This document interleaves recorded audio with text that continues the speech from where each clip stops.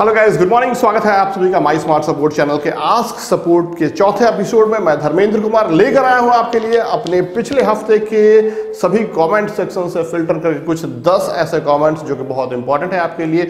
और उन सभी का जवाब इस वीडियो में देने जा रहा हूँ। सबसे पहला सवाल है कि can I change my Google AdSense account associated with my YouTube channel क्या हमारे यूट्यूब चैनल से जो लिंक्ड फ़िलहाल अभी का जो गूगल एडसेंस अकाउंट है, उसे हम चेंज कर सकते हैं या नहीं कर सकते हैं? जवाब है इसका, बिल्कुल आप चेंज कर सकते हैं, लेकिन विथ कंडीशन कुछ कंडीशन में अलाउड नहीं किया गया है, कुछ कंडीशन में अलाउ किया गया है। सबसे पहला जिस कंडीशन में नहीं अलाउ किया गया है, वो समझ लीजिए। पहला, अगर आपका किसी वजह से आपके YouTube चैनल का मोनेटाइजेशन डिसेबल कर दिया गया है तो आपको बिल्कुल अलाउड नहीं है चेंज करना। दूसरा कंडीशन अगर आपके YouTube चैनल से लिंक्ड जो गूगल एडसेंस अकाउंट है, वो सस्पेंड कर दिया गया है permanently due to invalid activities और इनवैलिड क्लिक तो वैसी स्थिति में आपको बिल्कुल अलाउड नहीं है चेंज करना।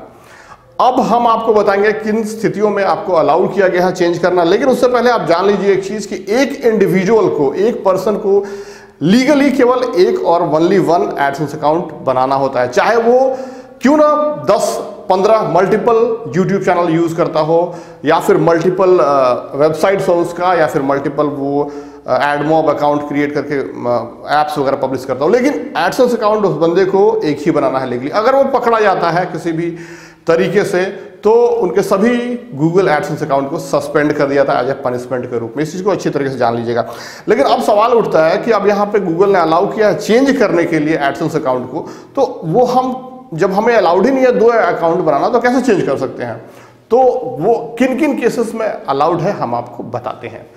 पहला केस फ़र्स्ट केस ये है कि मान लीजिए आप एक यूट्यूब चैनल चला रहे हैं, जिसमें कि चार पाँच लोग हैं और फ्यूचर में चल के उसमें से एक पर्सन हट जाते हैं या फिर उनको कोई इशू हो जाता है तो उस बंदे के नाम से अगर एडसेंस अकाउंट था तो अलाउड है कि बाकी जो बचे लोग हैं, उनमें से किसी भी अकाउंट से, नाम से एडसेंस अकाउंट वो क्रिएट कर ले और उससे चेंज कर सकते हैं वहाँ पे। दूसरा कंडीशन मान लीजिए, आप इंडिविजुअली एक चैनल स्टार्ट किए थे, बाद में वो बहुत ग्रो किया, आपने बहुत सारे लोगों को उसमें ला लिया, एक बिज़नेस का रूप उसे बना लिया, ठीक है, बहुत लोग कर रहे हैं आज तो वैसे स्थिति में आपको अलाउड नहीं होता है कि एक एडसेंस अकाउंट को इंडिविजुअल से बिज़नेस पे चेंज करने के लिए। ऐसी कंडीशन में आपको एक नया एडसेंस अकाउंट बनाना होता है बिज़नेस का, और फिर उसे आप चेंज कर लीजिए इंडिविजुअल से उस बिज़नेस में। तीसरा कंडीशन मान लीजिए बहुत से लोग क्या करते हैं कि इंडिया में रहते हैं और इंडिया में रहते हुए यूट्यूब चैनल बनाते हैं अर्निंग करते हैं चैनल ग्रो हो जाता है, अपने बैंक अकाउंट में इंडिया में पेमेंट करते हैं, लेकिन कभी सिनारियो ऐसा आता है कि वो फॉरन चले जाते हैं। मान लीजिए यूएस यूके कहीं भी चले जाते हैं ऑस्ट्रेलिया कहीं भी तो वैसी स्थिति में उनको वहाँ पे बैंक अकाउंट जो है उनके उस देश के हिसाब से एडसेंस का बिलिंग वगैरह सब कुछ होता है। वहाँ के बैंक अकाउंट डालना तो वैसी कंडीशन में ये जो है क्योंकि यहाँ इंडिया के टर्म्स के हिसाब से वो सेलेक्ट किए थे सब कुछ। लेकिन वहाँ को फिर, वहाँ उनको फिर से एक दूसरा एडसेंस अकाउंट बनाना होता है और वहाँ कंट्री लोकेशन सेट करते हुए वहाँ के बैंक का अकाउंट वहाँ पे एंटर करना होता है और वैसी कंडीशन में इंडिया वाले एडसेंस अकाउंट से वो चेंज कर सकते हैं, उसे लिंक कर सकते हैं। ठीक है? अब अब आपको थोड़ा सी चीज़ बता दें कि देखिए एक और कंडीशन है, चौथा कंडीशन कि मान लीजिए आपका fully approved Google AdSense account है। और आप वेबसाइट भी चलाते हैं, उससे यूट्यूब चैनल भी चलाते हैं। किसी वजह से आपके वेबसाइट का जो गूगल एडसेंस अकाउंट है, वो डिसअप्रूव्ड हो जाता है या फिर सस्पेंड हो जाता है। तो वैसे कंडीशन में आपका यूट्यूब चैनल का भी जबकि यूट्यूब चैनल पर कोई वायलेशन नहीं हुआ, फिर भी वो बंद हो जाएगा उसका एडसेंस अकाउंट क्योंकि उससे लिंक है। वैसी कंडीशन में अगर आपके वेबसाइट के लिए अगर मान लीजिए डिसेबल होता है सस्पेंड होता है आपका YouTube channel sorry AdSense account तो आप एग्जिस्टिंग जो यूट्यूब चैनल उससे कनेक्ट किए थे, उससे आप नया बना के जोड़ सकते हैं। ठीक है अगर आपका YouTube चैनल पे कोई वायलेशन नहीं है तो इन केसेस में और कुछ ऐसे वैलिड रीजंस अगर होंगे तो बिल्कुल लाउड होगा। लेकिन अगर आप आ, कुछ चीटिंग करने के लिए अगर अल्लाह को करते इस चीज़ को बहुत आराम से बखूबी समझता है Google is enough smart then you अगर आप ऐसे करेंगे तो बिल्कुल आपको पेनाल्टी काफ़ी पड़ जो आपके पास एग्जिस्टिंग है वो भी चला जाएगा। एक आज रखिए एक चीज़ की कभी भी गूगल एड्स स्विच करना हो तो ग्यारह से लेकर पंद्रह तारीख के बीच में आप चेंज मत कीजिए, क्योंकि आपके उस महीने की कमाई जो होती है, वो ट्रांसफ़र की जाती है उसमें। वो एक इशू हो सकता है। चलिए, हम अगले सवाल की तरफ़ बढ़ते हैं। अगला सवाल जो है, वो हमारे पास है कि how to monetize a dance channel और कवर चैनल सॉन्ग जो गाना गाते हैं, बहुत अच्छी सवाल है। देखिए अनफॉर्चुनेटली यहाँ पे बहुत ही रेयरली अगर शेयरिंग होता है तो आपको मिल जाएगा, हो सकता है थोड़ा बहुत revenue most of the cases में आपको रेवेन्यू तो वहाँ देना या इस तरह के जो लोग काम करते हैं, वो बेसिकली उनका जो अर्निंग होता है, वो गूगल एडसन से बहुत बहुत कम होता है, चाहे कितना भी चैनल ग्रो कर जाए। उनका मेन सोर्स ऑफ़ अर्निंग होता है कंसर्न से या फिर स्पॉन्सरशिप कुछ मिल रहा है, कुछ स्टेज परफॉर्मेंस मिल गया। उनका टारगेट होता है कि वो कहीं अच्छे जगह पे बॉलीवुड में या फिर और अपनी जगह को, अपने आप को वहाँ पे ला सके। उसके लिए वो काम करते हैं पॉपुलरिटी के लिए काम करते हैं, ना कि पैसे के लिए। ओके तीसरा सवाल है कि which is the best M C N M C N कौन सा बेहतर रहेगा यूट्यूबर से ज्वाइन करने के फ्रीडम या फुल स्क्रीन दोनों इंडिया के काफ़ी popular M C N companies हैं। और मैं बिल्कुल किसी इंडिविजुअल यूट्यूबर को आ, नहीं कहता हूँ कि आप ज्वाइन कीजिए कोई भी एमसीएन है ना? अगर आपके पास बहुत सारा ऐसा काम करते हैं जिसमें कॉपीराइट के बहुत कॉम्प्लेक्स कॉम्प्लेक्स इश्यूज़ आते हैं म्यूज़िक से रिलेटेड चैनल है आपका तब आप ज्वाइन कर सकते हैं। मैं रेकमेंड करूँगा कि सबसे बेहतर जो है वो जिस पॉलिसी के साथ तो फ्रीडम इंडिया ठीक ठाक है।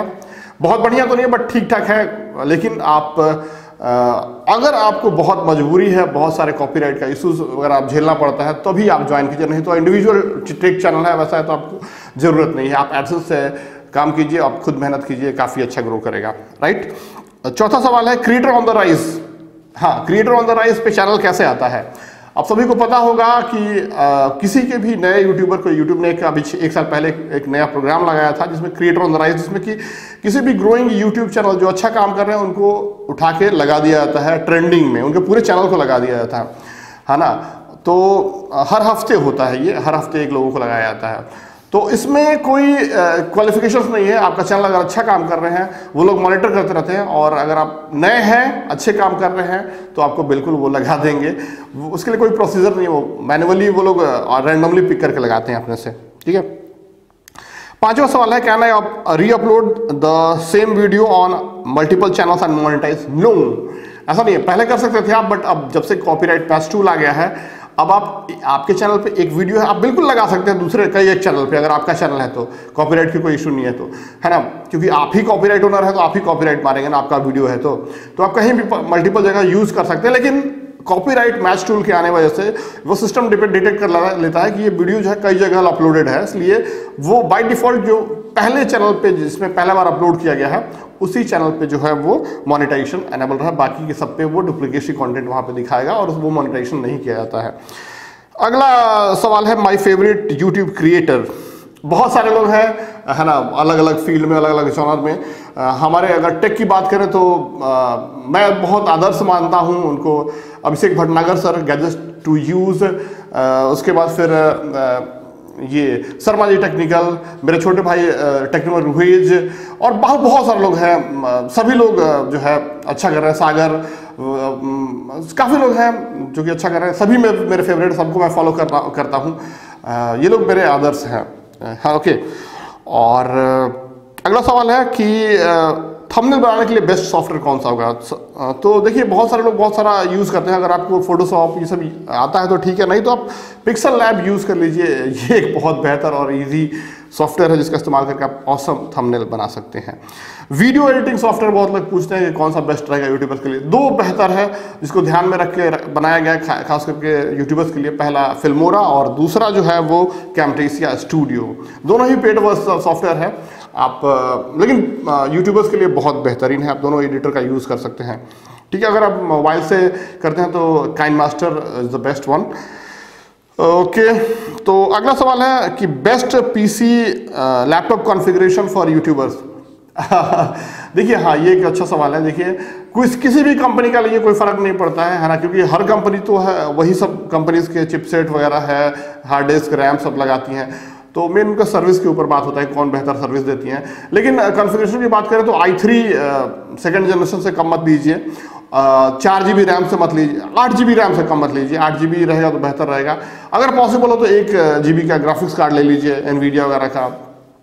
तो इस ऐसी स्थिति में जब एडिटिंग होता है रेंडरिंग होता है तो काफ़ी इजी होता है। बहुत आसानी से पाँच मिनट के अंदर एक, आ, मतलब अच्छा खासा वीडियो है एक जी का तो रेंडर कर लेता नहीं तो बहुत समय लग जाता है अगर इससे नीचे होती हैं तो। और अगला सवाल है लास्ट क्वेश्चन है कि क्या एक YouTube long term safe career है? डेफिनेटली सेफ़ करियर तो यूट्यूब को नहीं कहा जा सकता है हम तो नहीं कहेंगे इससे कभी भी कुछ भी हो जाता है यहाँ पे। लेकिन आप एक समय के बाद थोड़ा सेफ़ ज़रूर हो जाता है जब एक लेवल पे आप आ जाएँगे तो। आ, लेकिन फिर भी आ, बदलाव जो है ना हर क्षेत्र में होता है हर चीज़ में होती है। कुछ समय का के, के लिए उसका ट्रेंड रहता है बूम रहता है।